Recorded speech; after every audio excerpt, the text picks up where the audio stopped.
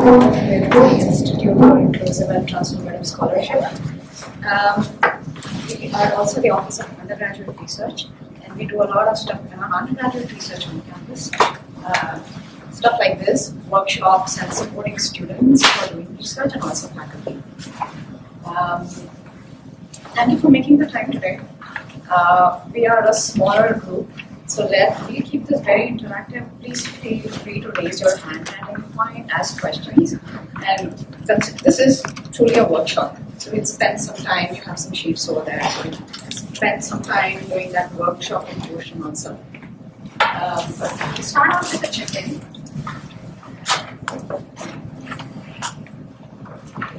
So let's start off with your name, your major or research area. How are you entering the space today? And one thing you want to learn today. Um, so I'm Lavanya. I am, my background is communication and marketing and. Uh, and this is stuff that I really enjoy doing. Um, I am bored. I don't like rain. and I am really excited to learn more about your research and how I can support you uh, at the poster showcase and generally making uh, scores. So, uh, start with you. Hello, uh, my name is Mac. Uh, I am in the anthropology department, but I'm uh, doing research in science communication with SUBOISE. Um, I'm admittedly pretty tired. I'm in the middle of analyzing results as fast as possible so I can actually have them on the poster. Um, and I'm interested in more about how to integrate uh, figures and statistics into my poster without seeming boring. And now that I will actually have like numeric results. Uh, my name is Michael. Uh, I'm in the master's program and I'm doing research with the Nas- National Science Foundation right now. Um, one word to describe how I'm feeling is just excited. Uh, this is kind of cool to me. Is my first experience doing this, so it's been pretty fascinating to see how it all works out. Uh, and one thing that I'm hoping to learn today is just sort of how to go about putting my information on a trifold, because this will be my first time doing that. Uh, I'm Caleb. Um, I'm in the creative writing MFA, uh, doing poetry, stuff. Um, trepidation is probably a word of today because despite doing three minute thesis, I'm still not sure like what creatively counts as research and then how to couch that, and that feels kind of embarrassing to admit coming into. But uh, that's something I need to learn and communicate. So that's what I'm hoping to learn today. Hi everyone, I'm Yaz and I'm doing a PhD in ecology. Um, I'm excited here, being here, just to learn probably something new about PowerPoint and user presentations. And um, yeah, I'm always seeking learning something new. Um, hi, my name is Sarah. I'm also with the anthropology department, specifically with bioarchaeology. Um, one word to describe how I'm feeling is a bit overwhelmed. in the second semester of grad school, so it's just that time of my life, I guess. Um, but I am feeling hopeful because I'm really excited to learn today about how to kind of get my ideas into a poster format compared to what I'm used to which is writing like 10 page papers. Yeah. Um, hi everyone, my name is Maria Figueroa. I am in the Biomolecular Sciences PhD program. Um, I like the rain, so it's cold for me outside. um, just a little bit cold. Um, what I want to learn today is how to organize effectively what I'm trying to communicate or share with other people. So, yeah, that's. My name is Maddie. I'm in the public administration uh, program, uh, and right now I'm researching public opinion and misconceptions about natural resource management strategies.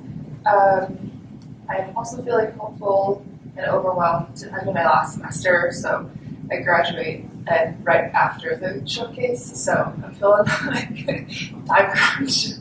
Um, and I think similarly, I'm really looking to figure out how to communicate things that I am very well read about to people who may not, you know, be as informed. My name is Erin. I'm a political science major and environmental studies minor. Um, I'm researching carbon sequestration on public lands in the West and kind of the feasibility of it. Um, feeling okay, I guess, coming in today, feeling excited to have this kind of resource to take advantage of, which is awesome. Um, and I'm definitely looking to try to figure out how to better organize and kind of work with what I have right now to hopefully make it a little bit stronger. Yeah, thank you. Um, so, general sense, a lot of us are tired. So, I'll keep this simple. Uh, kind of give you uh, some big takeaways that will help you think. You're also, we've also talked about organizing your posters, so we'll cover that also. We'll also look at uh, touch on graphs and pictures and stuff like that. Um, so, yeah. So what we will do is kind of gen- general overview of posters and what they are meant to be. Then we talk about the actual creation process once we understand the goals of, of a poster. And then we'll also talk about talking about your poster because creating is just one half of it.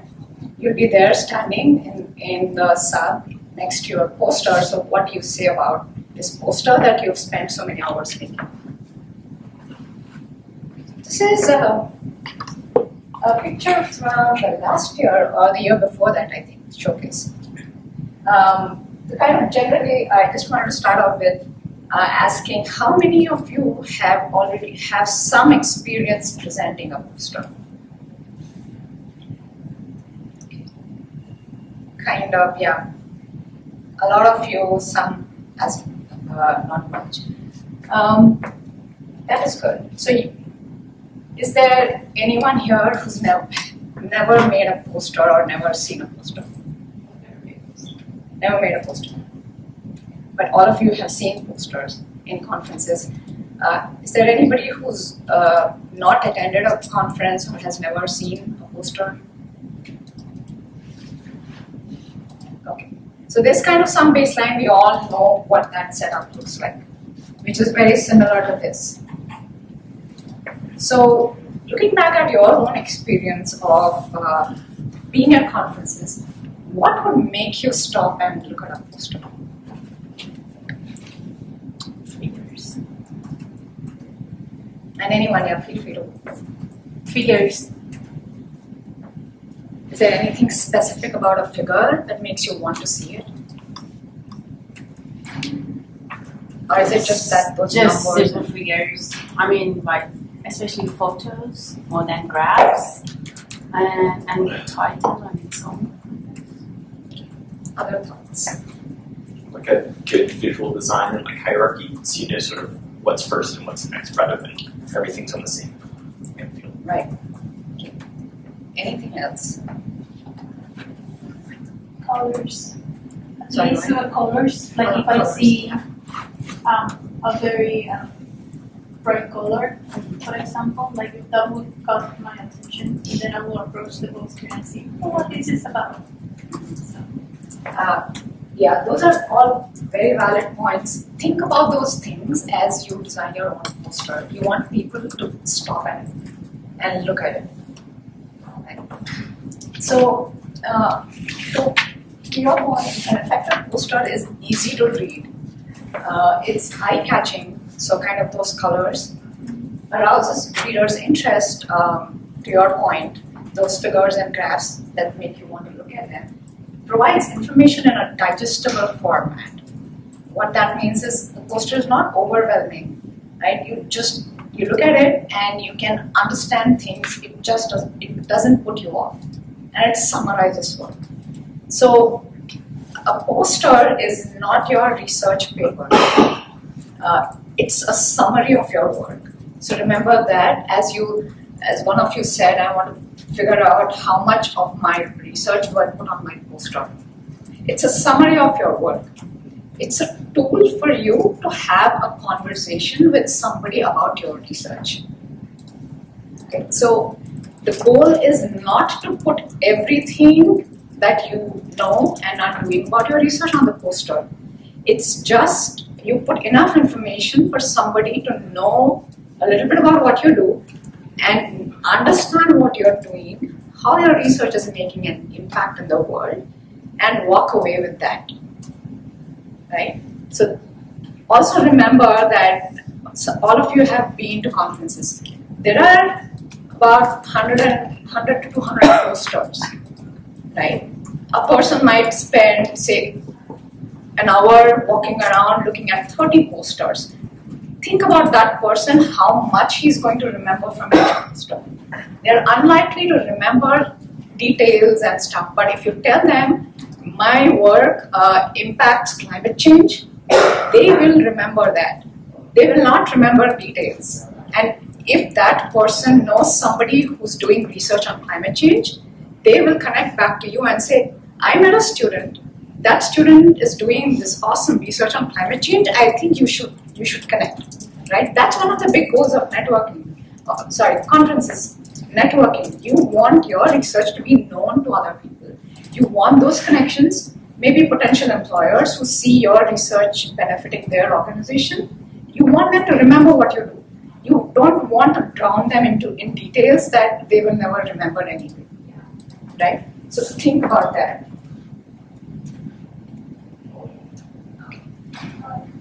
What is your biggest challenge, frustration, or problem in creating a research poster? Uh, to those of you who've already done this.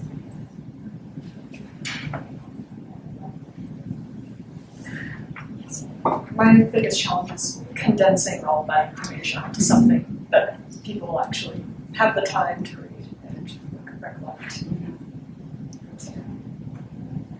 Other thoughts?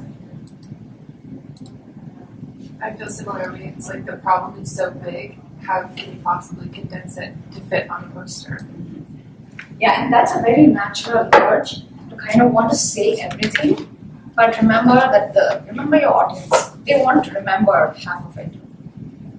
So we asked um, undergraduate students at Boise State, and we do uh, these surveys. We asked them uh, what is their biggest challenge, and they came up with uh, all these, which is to your point, deciding what to include and exclude, uh, space, size of poster, uh, not sure how to start. And for these students, a lot of them have never made a poster. So it's for them, it's really overwhelming. Um, people have also had uh, challenges with what templates to use and formatting appearance, which some of you also talked about. So we've covered all of these. Okay, so let's talk about a graduate students showcase. It's on April 10, which is seems April seems so far away, but it's actually 10 days. Um, it's a one-day conference. It's open to the public. Uh, most of you probably know all this, but the part where I wanted to kind of focus on is the judging portion. That all your entries are going to be judged. Uh, I understand that each entry will be judged by these two judges. Uh, you will be required to give a short pitch of your research, and we'll talk about that part also. Uh, and the judges will ask you questions, and there will be an evaluation component of your poster design, and there will be some, there will be a scoring of that, and then they announce the uh, winners. So this is the rubric they use. Uh, so this is just for the judges. Remember, you also have a lot of other people who will talk to you. But since there is prize money involved, I thought it would be useful to look at this. And this is also on the showcase website. Um, so uh, have there. So the five things, and this is a useful rubric to remember, not only when you talk to the judges, but generally whoever comes and talks to you wants to know about your poster. Also, not just this conference, any conference. I think it's a very useful rubric. So the kind of things they look at is the background context of your research. Purpose. Why are you doing this? What's your research question? Outcomes, or what is the hypothesis you're testing, or what are you hoping to learn through this research process? Uh, the impact is a big picture. What is my research going to do? Or what is my creative activity going to do? Is it going to inspire somebody else? Is it going to give somebody a different take on things? So that would be kind of looking at creative activity uh, and thinking about that. And then your the layout and design of your poster. And we, I'll come back to these things in a bit. Um, remember, you work with your poster. It's a tool. Uh, the poster cannot do a job by on its own, so don't leave your poster and walk away. And without a good design and without a good poster, no matter how well you rehearse and uh, pitch your uh, work, it won't be a complete story. Uh, so this is something that I came across in the Council of Undergraduate Research of which we are a member.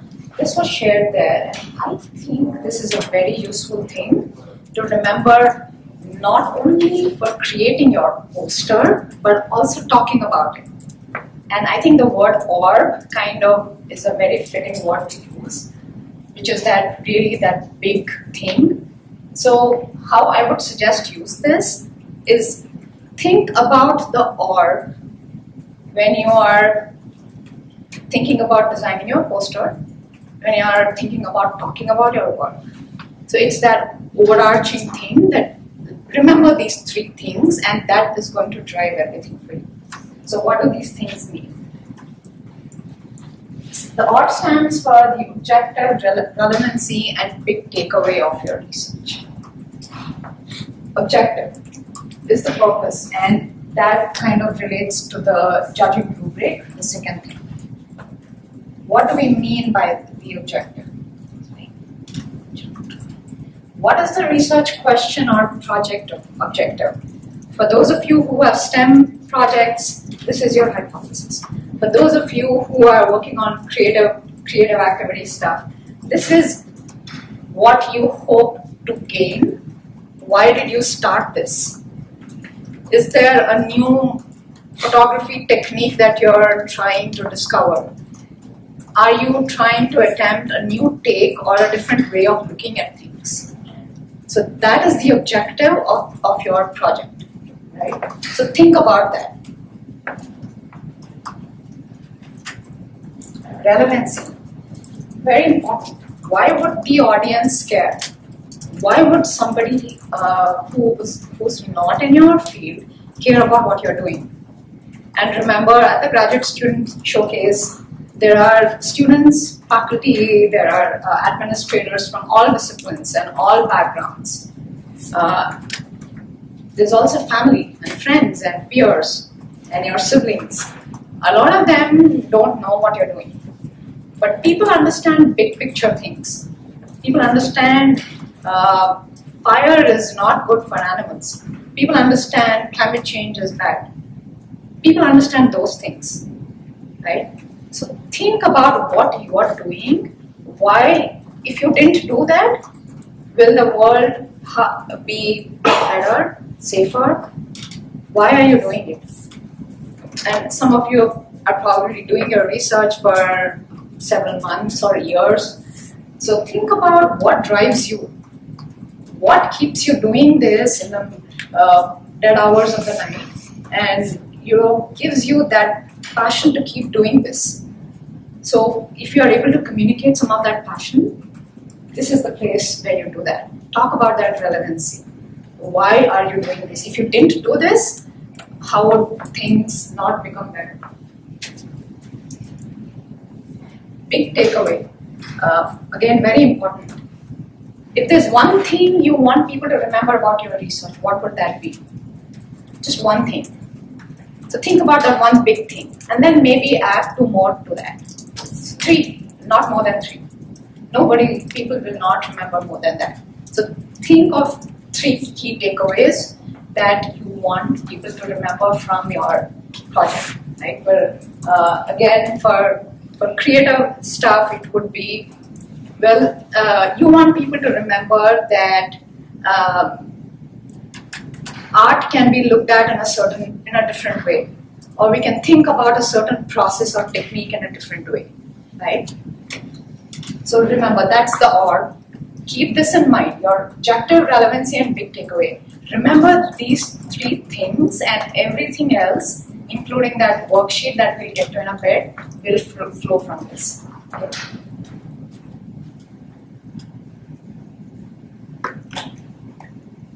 Okay, so now we have the or. You've thought about those big picture things. So now we have a process, which is which I like to call the method to the madness. Uh, we first start off with assessing, which is that worksheet that you have, uh, and these are the questions you have there. So think about the orb, and let's um, spend uh, say five minutes. Uh, think about the answers, or feel free to jot down your answers in the worksheet and we'll spend some time maybe uh, share share some of your answers uh, with the group.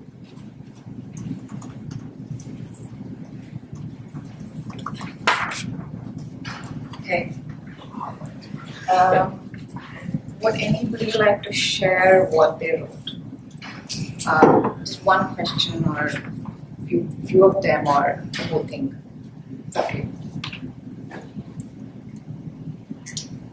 I think I should run through mine. Um, so my audience that I'm mainly targeting uh, would be educators in like the management department. Uh, my research question is how can the National Science Foundation I-Corps course improve participant uh, technology commercialization success? Uh, some of the methods that I used was a variety of statistical analysis, um, data analysis, building different models, um, and looking at the values of the results.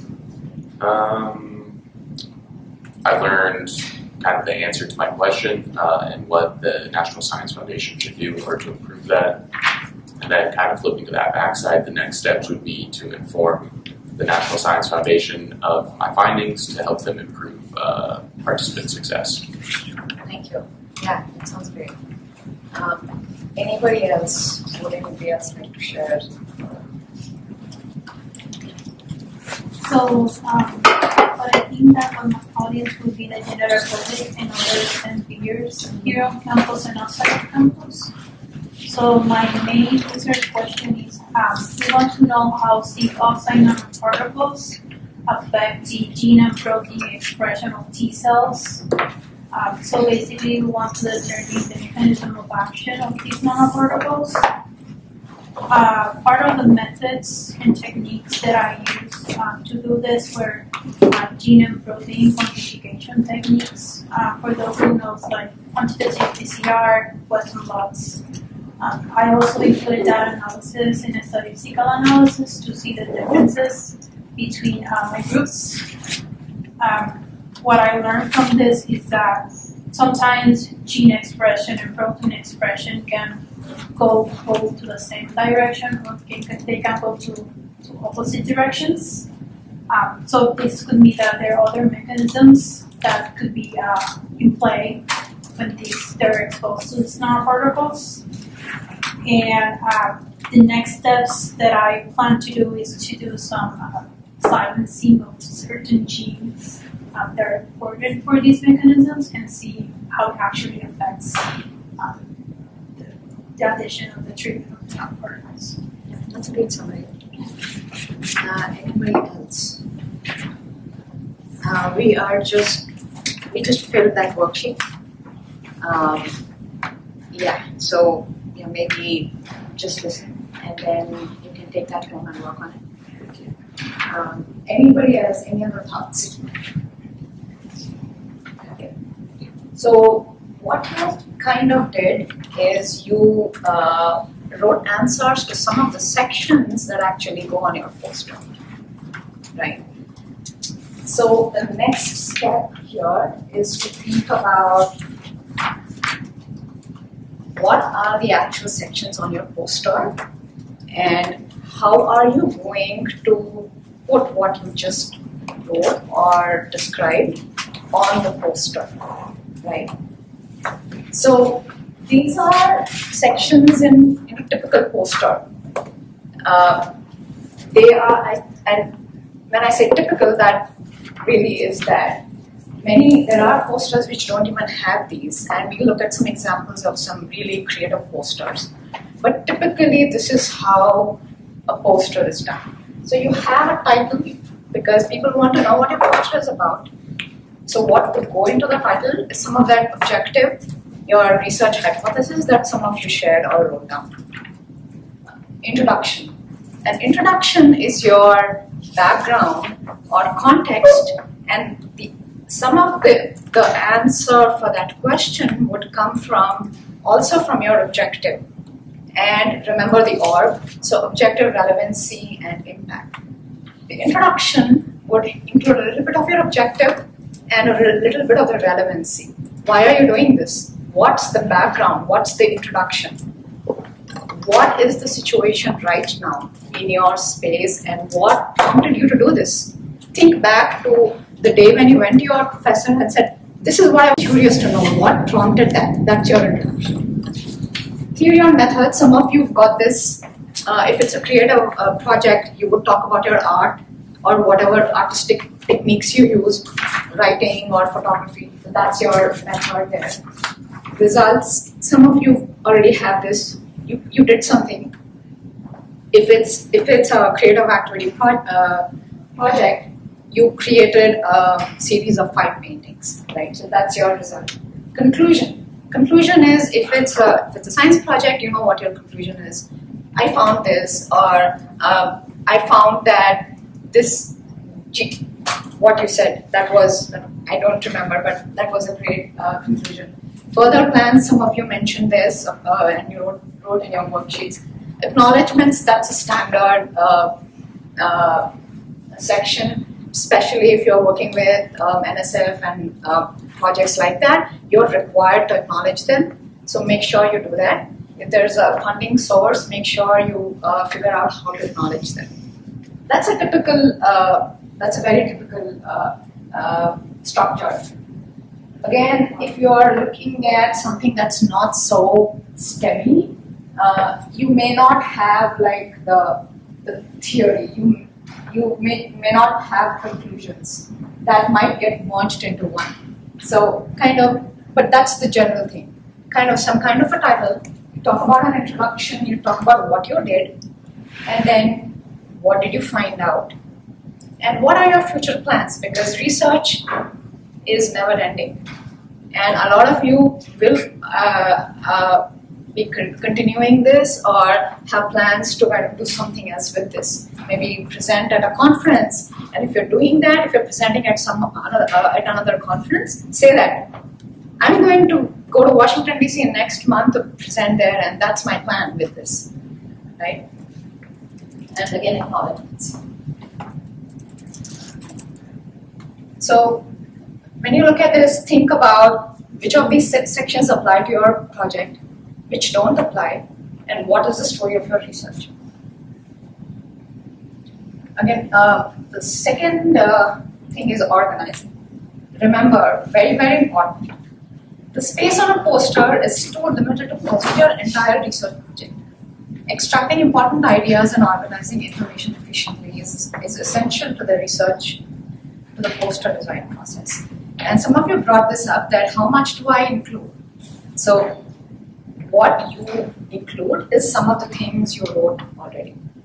Those are, if you can put that in a way that is effective and attractive. For example, let's go back to the to your say results. If you have a really good picture of your results, put that. If your, say, introduction, your background, um, there's a really nice statistic or there's a really nice graphic that you can use, use that. People understand visuals much better than they understand text. So any, if there is a really if there is a specific color that speaks to any of these sections, think about how you can use that color. Think about font. Uh, again, uh, your uh, results. If you have a really cool graph or chart that really explains your results very well, use it. Yes. I have a question. So, if we're doing qualitative research, it, I've noticed that my poster is getting really wordy you, and it's kind of hard to, I mean, we don't really have like graphs and like data to put in charts or anything like that. Do you have any recommendations or tips to help with that? Yes, uh, and we will look at we'll look at some examples. But use pictures, use photographs. Okay. if you say your qualitative research, you've analyzed a historical textbook, and uh, say Melville, um, put a picture of Melville. I don't know what Melville looks like. I know Melville. There's a lot of research happening around Melville, and there's a lot of qualitative data uh, around Melville's work, but I have no clue. And if somebody put a had Melville on their poster, and I see a picture, I would go up to them and say, "Hey, is that Melville? I've never seen him." You know, anything that makes people curious about your work. Use pictures. Use pictures of buildings. Uh, where did you do uh, your research? Did you go to a different country? You know, put a flag. If you went, if your research was in Spain, put a picture of, uh, uh, put a flag of Spain. If you interviewed uh, a Native American tribe, put something that is representative of that tribe. If you interviewed people belonging to that tribe, use an artifact that's very distinctive, and then people will come and ask you, "That looks very interesting. Tell me more." Okay. Okay, does it answer your question? And we'll look at some examples. Yeah, I got some ideas. Okay.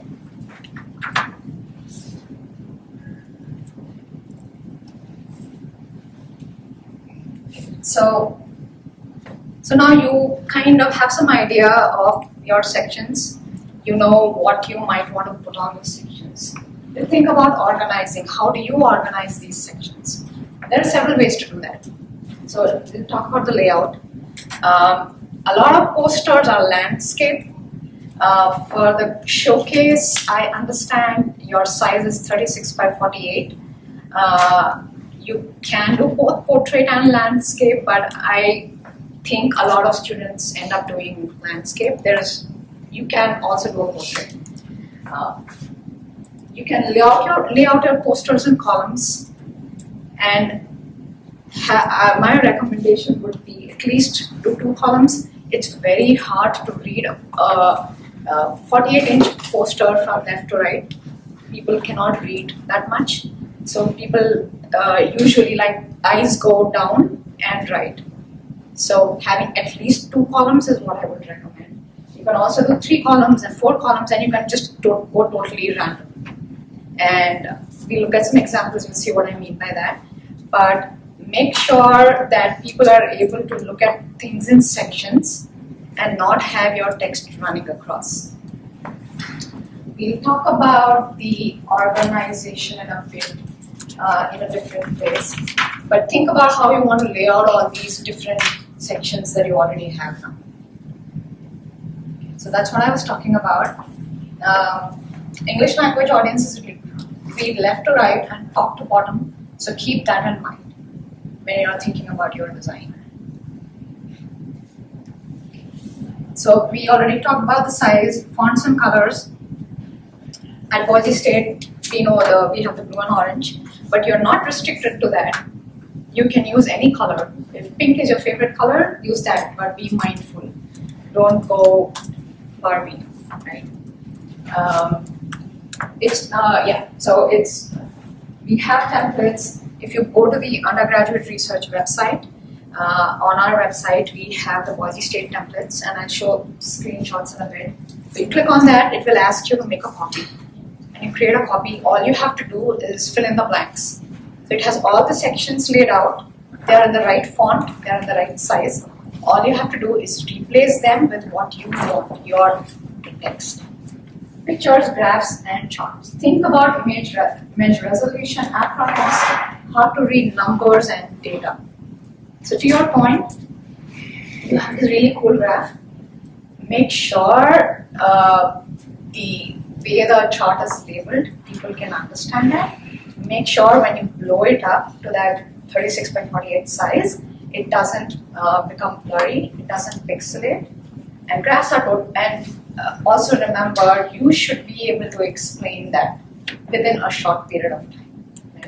Uh, the average amount of time people are likely to spend uh, with you is about two to three minutes. So keep that in mind when you are asked to explain your poster. How much can you explain in that time? Uh, think about uh, formatting, boldface, italics. All these are ways to make some text stand out, but don't overdo it. Uh, don't use Comic Sans. Don't use crazy fonts. Um, Boise State, if you use our templates, we have Arial and Gotham that we rec- recommend. Those are really good fonts. The uh, reason for that is most people will look at a poster from a distance of uh, two, two to four feet. So kind of, yeah, this much. Uh, and those fonts are really easy to read from that distance. Uh, so if you're experimenting with a font, uh, put it on your um, laptop and stand back a distance of two to four feet and see if you're able to read it. Some fonts, the A's and E's mix up and it becomes a little bit crazy. So keep those things in mind. Think about other things, logos, funding statements, your references, uh, QR codes.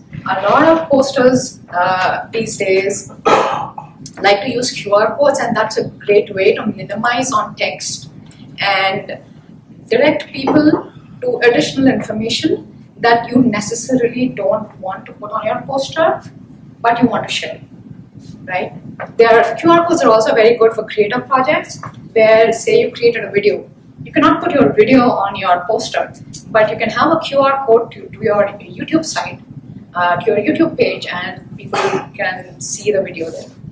Same for if you have a portfolio or some other uh, or a writing project that you've done, you can direct use QR codes to direct people. Uh, contact information. If you want people to be able to contact you, it's that networking piece very important. Put your email, your phone number, or however you want them to contact you, and uh, they will be able to see that. So this is what um, I was talking about earlier. Uh, when you go to our website, go to that section, we have something called a traditional poster template, which is your uh, the 36 by 48, the portrait. There is something called the better poster template. I will talk about that in a bit. And there is also an empty poster template set to 48 by 36, which you can put in your own colors and whatnot and do whatever you want. So this is the traditional poster template. It has all those sections laid out.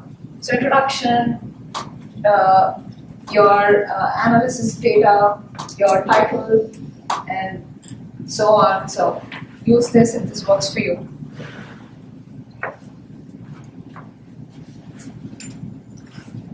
Um, this is something that's been kind of picking up in academia, and I really like this. Um, some faculty do not like it. So, so be mindful of that. Uh, and if you're if you want to use this, maybe check with your faculty.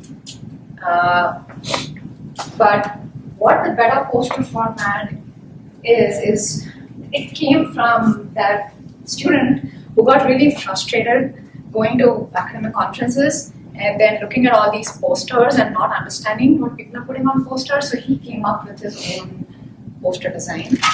And uh, you, uh, you Google that, you'll come across this video. It's a really nice video. It's about a four-minute video. Um, so what's that? So what the, this poster format essentially is is it does away with a lot of things that people cannot assimilate in a poster, and it just keeps the gist of what people can digest easily. I'll show you what that what I mean by that. This is a better poster format. It has this big block in right in the middle where you put your main findings and it says translate it into plain English and emphasize the important words.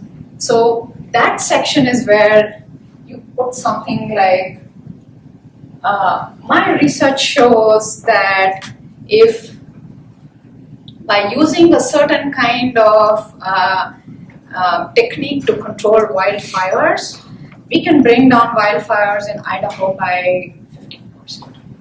That's it.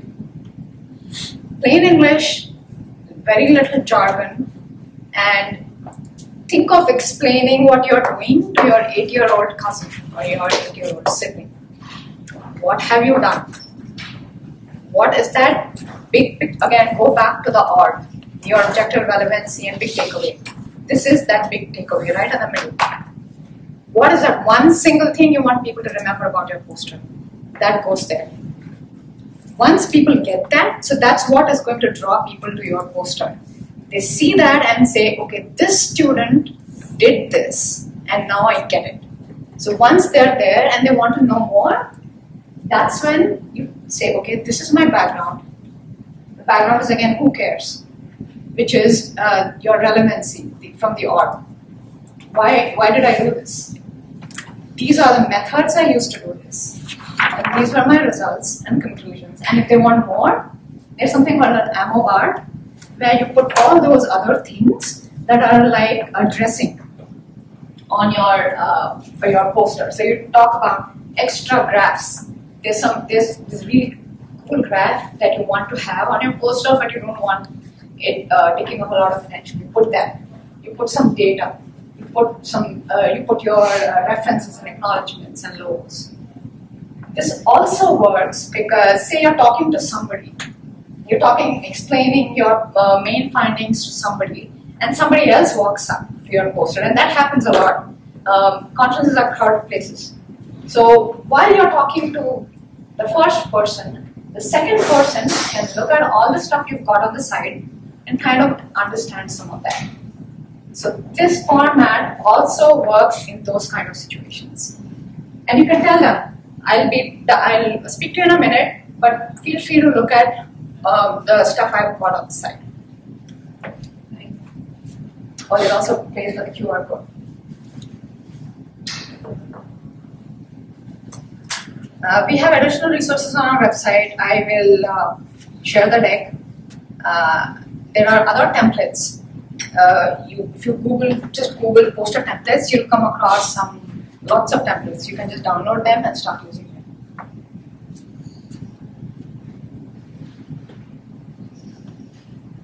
Um, again, some more pointers about design. Uh, you've got your you, you've got your sections in place. You've got an idea of what you're going to say in those sections, and you've, you started thinking about colors and fonts. Um, how I, what software you're using. Um, PowerPoint is very widely used. Um, uh, Illustrator and InDesign are also used, um, especially if you're a design student or an art student, you might be more familiar with that. Word count.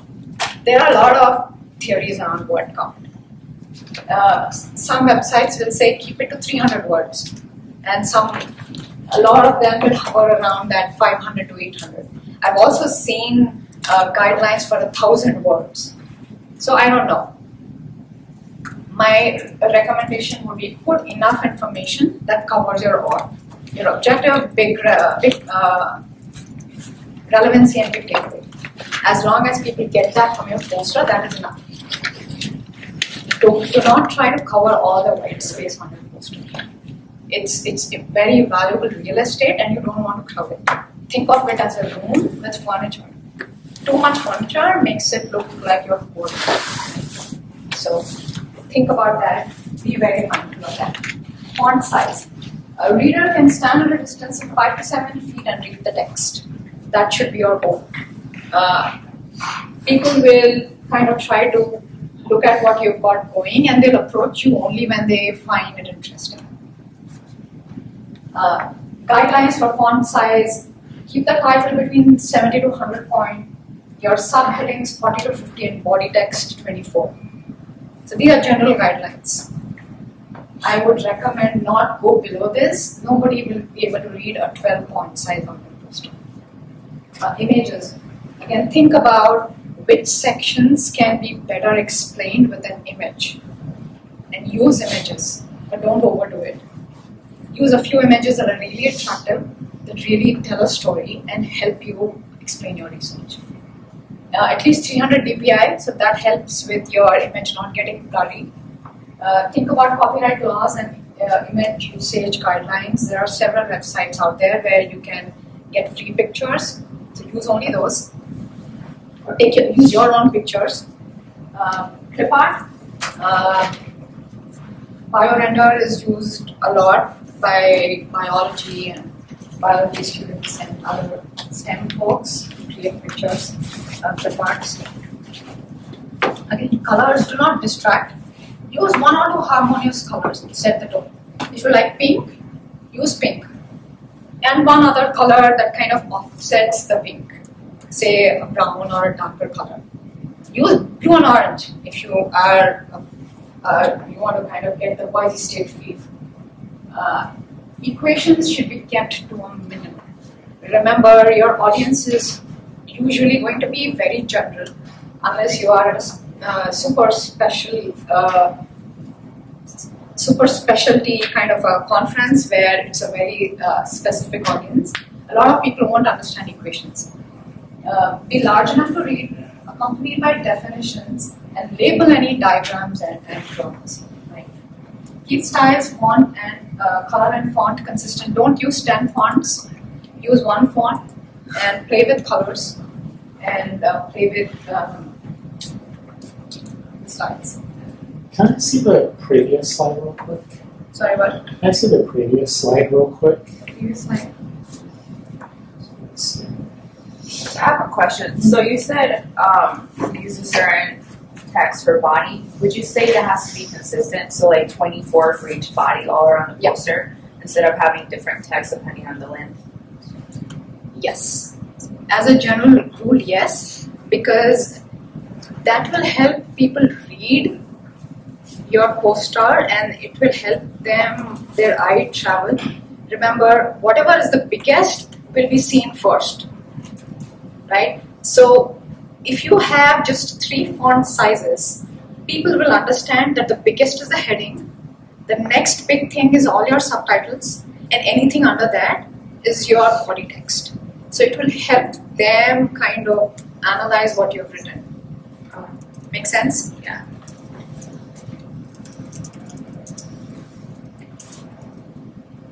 Okay. So let's look at some posters. Uh, we all have some idea, and we also know what we like, what attracts us to posters. What do you think? And none of these are good or bad. Uh, they are just posters. What do you like about this one? What do you not like about this? Any thoughts?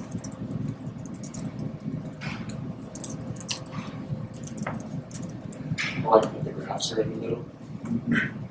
I like that it's organized and like it's divided into sections, so your attention is drawn to the specific area and you're not like looking all over the place. Yeah. Has a Yeah. nice flow, I think. Other? The images are right in the middle, so it's like, okay, this is where I want. That's probably intentional because uh, images really grab people's attention. And when I'm looking at a poster, if there's an image, I'm going to be focused right in the middle, right? Also notice that there are just two main colors, and they are contrasting. So the yellow and the blue, they work really well together.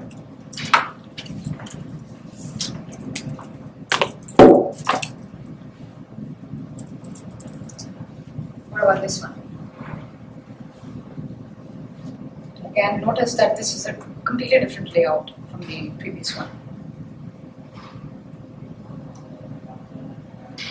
Too many colors, I think, Too many colors. for my, for my.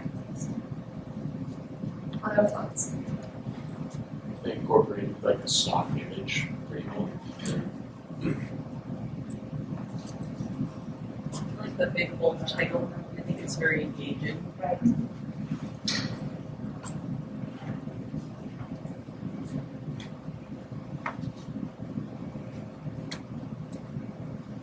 And uh, you asked about you asked about pictures, right? So one of you asked about what pictures do I post? Oh? Oh, I was just asking, like, how do you, I guess, demonstrate qualitative data? Because Yeah, quantitative, like, you can use charts and graphs, and then qualitative, I was finding it was like a lot of text. Right, and it's okay to just have text. It's okay to not have any graphs for your poster. Um, I really like the image they've used. It's children. It's it grabs people's attention. Everybody care. A lot of people care about children, research related children, right? So that works for that research area. It's about home internet access on school success, and it, I think it, it's a good way. Uh, yeah. I also like how there's fewer text here compared to the previous one. So it doesn't overwhelm me. I want to read, it.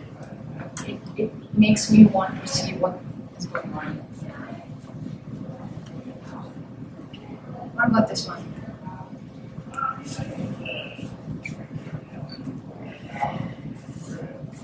I think the text is kind of hard to read um, on the green one. The black doesn't necessarily go super well with that darker green. And it's honestly just really distracting. It's like a almost like Pinteresty clip art kind of look. It Doesn't really look professional. I don't think maybe. I think the images are providing a whole lot, especially on the right side under metadata. So I can't see any of that text, so is it there? Great point.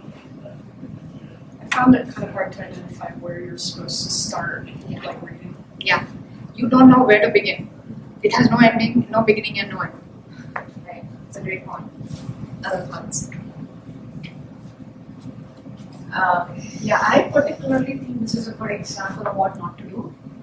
Look at that. That looks like a screen grab. I have nobody will ever read it. Nobody cares what that is. It just gives me migraine thinking about what anybody forcing me to read. Right? Look at this person has tried to bring attention to too many things. Look at that thing in the middle. And that's not even research. It's I don't know what it is. It says Marianne, it's somebody's name and their title. I I have no clue what that is. But it's in a starburst, so it, it makes me feel that I'm so, I have to read it. And when I read it, it makes no sense. It's really frustrating, right? They tried to use. It looks like a qualitative uh, art project to me, and they've tried to bring in this and all these pictures, but they've overdone it. It's too many things. Look at those that, those callouts. If they had taken away all that stuff, maybe kept this big thing right in the middle, and kind of made it out a little better, fewer colors, I would have read. But I don't. I will never read this. Okay. How about this?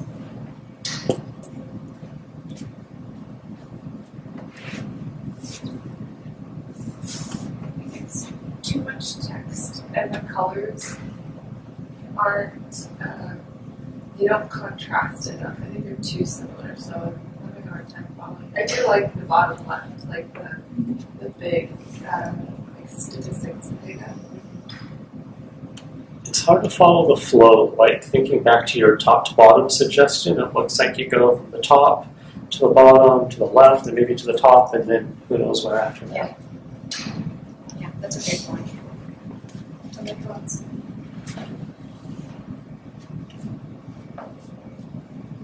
The one thing I like about this is this thing, the way they've used numbers.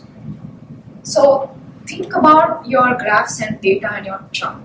Is there an interesting way to show that instead of just having a picture of your graph? Is there a number in there that really makes sense? Uh, like the 66, it says 66 3D speci- specimens available, and there's a picture of a skeleton of a dinosaur. I, I get that, I understand that.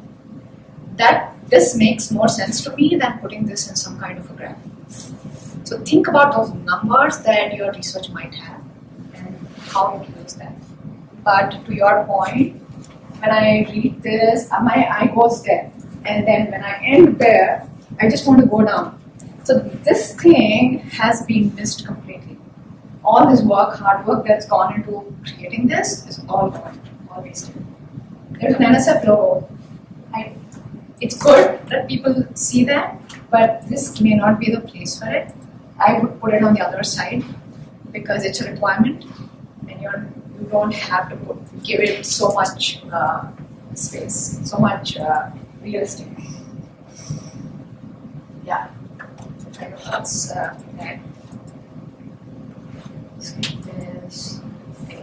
Let's look at this one.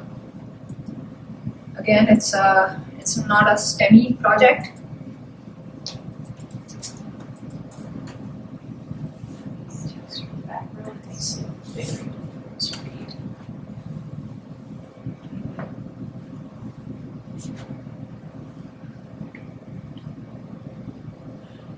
I think I'm more interested in whatever that background image is than anything else, to be honest. Like, I try to read it, I'm like, what's going on back there? Yeah. I think I see what they were going for, and I like that creativity behind it to engage Yeah. the background photo, but I just think they missed the mark with the organization of everything. Because on the left side, this information, although there's high contrast, it gets lost. The bolded title and the text, it's just like you don't really want to look at that. To his point, you just want to look at the background image. I think it's a, a good example of what you mentioned about keeping your text all the same font. Like I'm understanding where the subtitles are, but then each section has a different size, and that, like especially that small one, that one really gets lost. Yeah. Yeah. That, that's a great point. And I didn't even think about that for this poster. So if you see, like, this is italics, it's the same font size as this and that. Uh, there are only three font sizes in this entire poster. This, this, and this, and the title. Probably some of it match. But when I kind of, in my head, I know that this is something not that I necessarily don't have to read. It's like a side note kind of thing. That also looks like that side note. But I with all of you, the background just kills it. It just just makes me not want to see anything else. They could have used it, your point, but the idea just went away with uh, the person distracted. Okay. So that's that. Um, the next section is the last section. We'll talk about how do you talk about your poster. But any questions before that? Design, organizing your uh, what goes on your poster, what keep what you keep out of it. Yes. How many? How much is too much pictures? When do you know it's too much pictures? When you put everything on it, stand back four feet and see what you notice. If it feels too much, it is too much. Or have someone look at it. There is no specific number. I mean, I would say 10 pictures is definitely too much. But think about your research. What, when you want to visualize your research or whatever it is that you've done, what imagery comes to your mind? If you had to explain your research to a eight-year-old with a picture, what picture would you choose? So simplicity is the goal. So you know. So for designing the poster, there's the templates online. Do those are those kind of just like a fill it in with our own stuff, and then we'd be able to print it off that way or make it. Yep. And then if we wanted to do something separately, you recommend maybe make it like Google Slides or PowerPoint or something like that. Just uh, open a Google slide, set it to uh, 36 by 48 inches, Mhm. and then Just design it that way. other questions. So this might be more just like something on my end, but if, uh, I've tried to uh, I've tried to access the poster templates in the past, and uh, I've tried with both my uh, employee and student email, and every time I've been denied access, and I just am not able to view them. Do you have any idea like what might be going on there? It should prompt you to make a copy. It doesn't do that. No, no, it just says access denied. Give me your email and we will figure it out offline. Thank you. Other questions?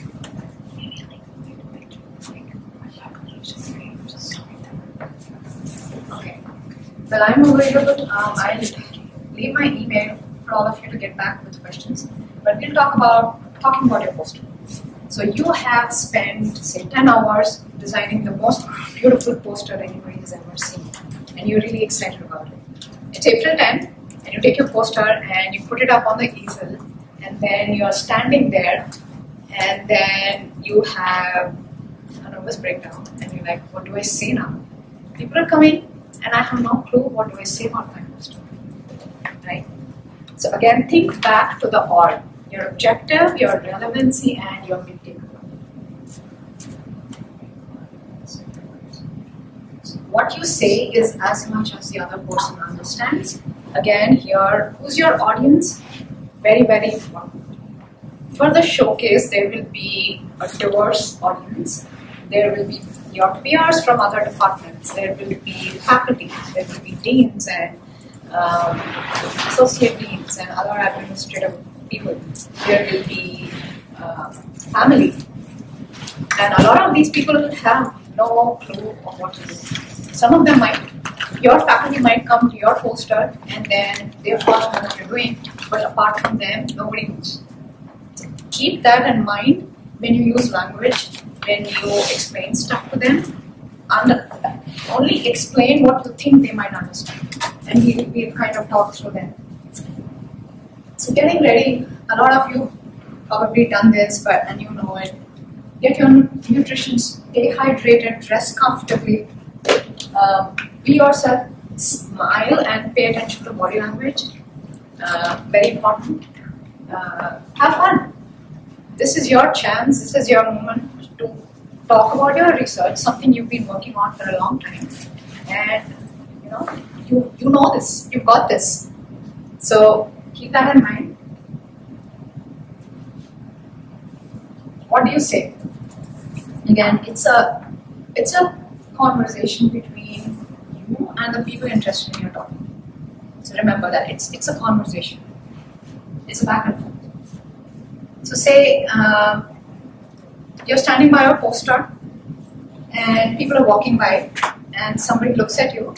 What do you say to them? You you are an introvert. Just say hello. You can also ask them how you're finding the conference. Would you like to know more about my research? A lot of students say this, and it's perfectly okay to say that. Would you like me to take you through my poster? Yes. That's what you're there for, right? So be direct and say, we'd like me to do that. That's how you start off. Engaging them. So once they say yes, yeah, this sounds interesting, tell me more. So give an elevator pitch. Does anybody know what that is? Uh, you, uh, I'm guessing a lot of you know, or you already have an elevator pitch. So start off with that. An elevator pitch is a brief, big picture overview about your research. 30 to 45 seconds is the attention span people have, and that's all you need to be sharing at this point about your research. For example, say, I'm a soil researcher. My research helps identify sagebrush variants that are resilient to drought and can thrive in areas destroyed by fires. My findings have the possibility of impacting reforestation and wildlife restoration efforts in these regions of Idaho. And if you analyze that, it's got those three things the objective, relevancy, and, and the big takeaway. The ORB. So this is the ORB. Your elevator pitch is your ORB. Give this. And we'll also talk, talk about practicing, but very important to write down what your elevator pitch is and practice them. Will you say that again? What are those three things you said? Uh, I will show you my slides. Yeah, we, we yeah. Let get if you have some time to stay back, I'll take you through that again. Oh, okay. But yeah, quickly.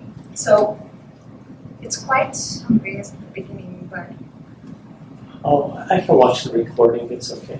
no, that's okay. So the ORB of the poster is the objective, the relevancy, and big takeaway. So this is something you remember while you're designing your poster and also while you're talking about your poster. So your objective is really what is your research question, project objective. Relevancy is why would the audience care, and big takeaway is what are your key takeaways. So that's the.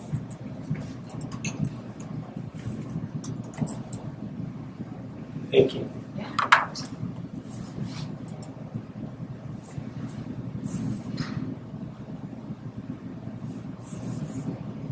So you've done with your elevator pitch. Giving a pitch to a showcase judge. So you you're standing there, and this person walks by and he says, "Well, I'm one of the judges. Uh, uh, talk to me about your poster." And they've they've got this pad in their hand with a pen. So for a showcase showcase judge, and you will have at least two of these people, and they'll identify themselves. What do you say to them? And for them, it would be slightly different because they are scoring you, right? So for them, think about your pitch duration no more than 30 minutes, no more than 3 minutes. Uh, no more than 3 minutes. 30 seconds is a sweet spot. So a slightly longer pitch and cover the ORB, your objective, relevancy, and impact, but also go back to the rubric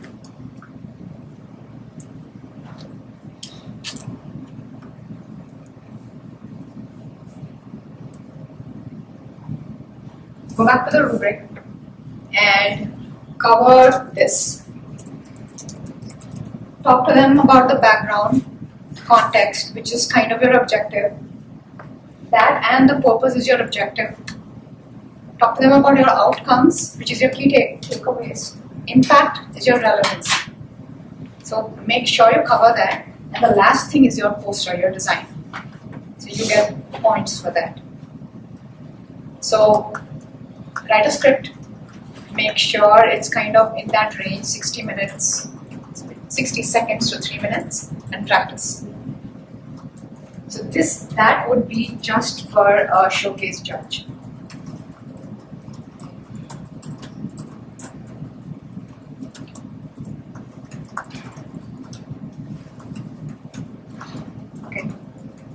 Taylor, this would be for everybody else who comes to you. Sorry.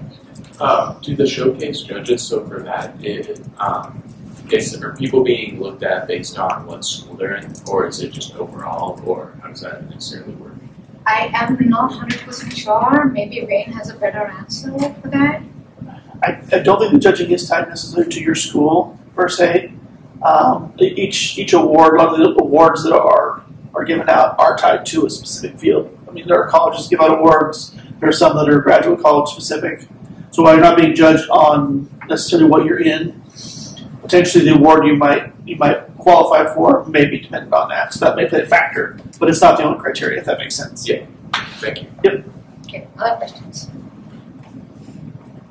Okay, so you've given your said hi, you've given your elevator pitch and they say, well, I love soil research. I am very passionate about it. Tell me more. So that's when you say, well, ask some of these questions because you want to figure out what this person cares about. How familiar are you with this topic? And they might say, well, uh, I'm a scientist and I have this NSF project going on about soil research in Montana. And then you know who you're talking to. Uh, you might, and what is your background? They might say whatever. And then you will know what to say to them. Is there a specific area you would like me to elaborate on? Again, uh, uh, another good way if you have a lot of things that you want to share. Have you worked on something similar? Do you know about, if you have a jargon, if you have a chemical or a molecule you're working on, ask them, do you know what this is? Do you know what is uh, epigenesis? I don't know, I just threw that out.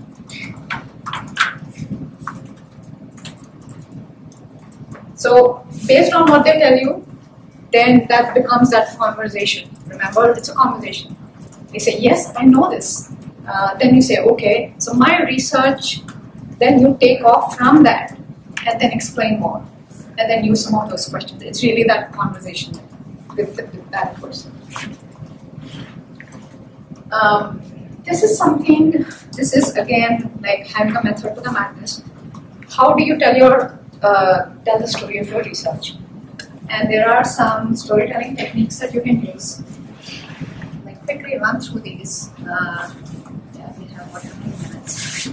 Uh, a lot of you might have come across this uh, in a writing 101 class, but these arts work very well when you have to uh, talk about something that you're doing. It's basically storytelling. So use a storytelling art. This is a traditional art where you start off with an exposition, there's rising action, there's, there's a climax, falling action, and resolution.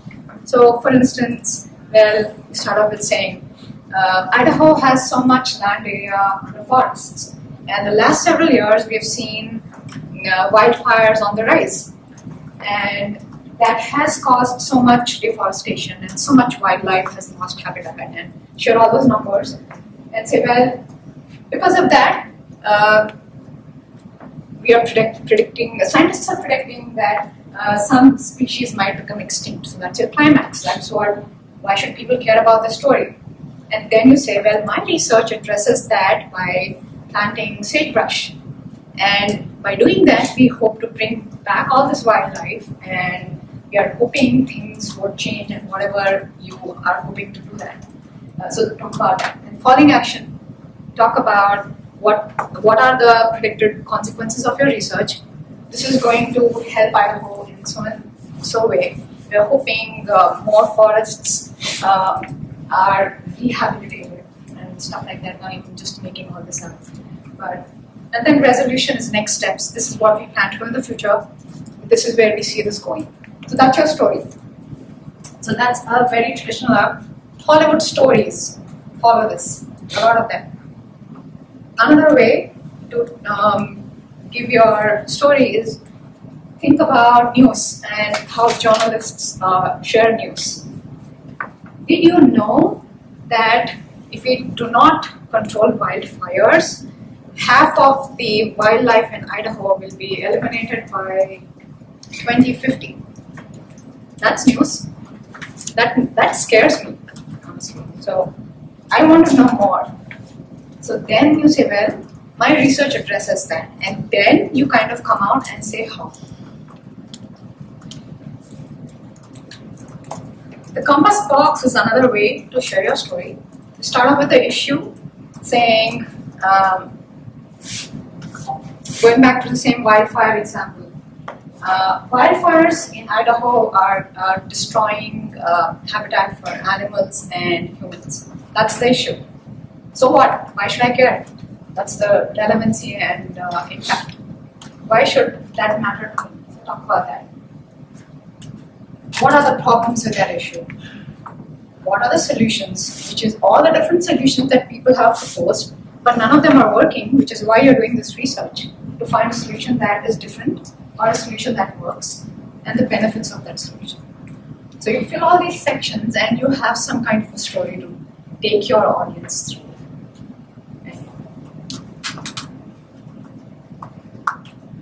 So that's done. You've told your story, and this person kind of knows what you do now. So, closing, you are standing there, you have a goal. Uh, you are trying to network, you want to make some connections, you want uh, maybe find a job. So, think about that. Uh, ask if you want to ask feedback. That's a great uh, place to do that. If that's a faculty who's in your research area, say it's a faculty from Montana State who's also a solid researcher, ask them, what do you think of my research? Do you see any gaps? Do you have any suggestions for me to uh, continue this? Contact information. If this is a person you want to uh, reach out to later, ask them for their business card. Um, handouts.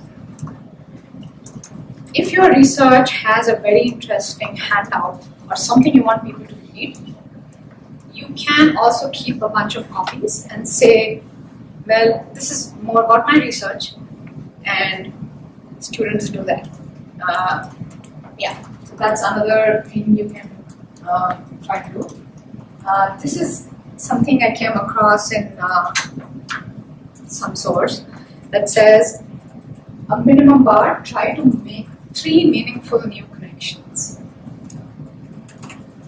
So think about that, three. Okay. The last slide, uh, I think, body language. Smile, make eye contact with people, use hands to point at relevant parts. Again, if you have lots of things on your poster, point at them and say, this is my graph, this is my chart. Don't turn your back to the audience.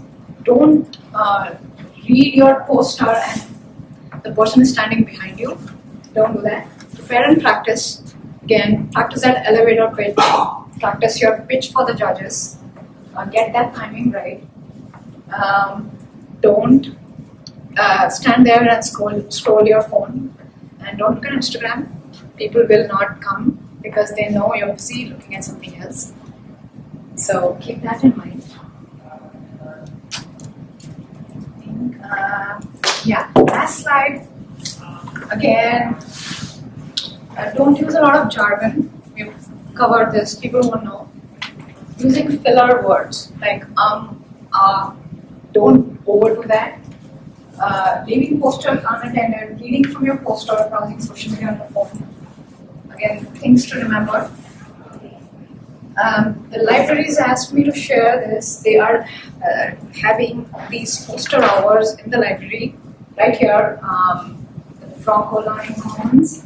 Those are the times. Uh, feel free to walk in. They'll be there helping you with your poster.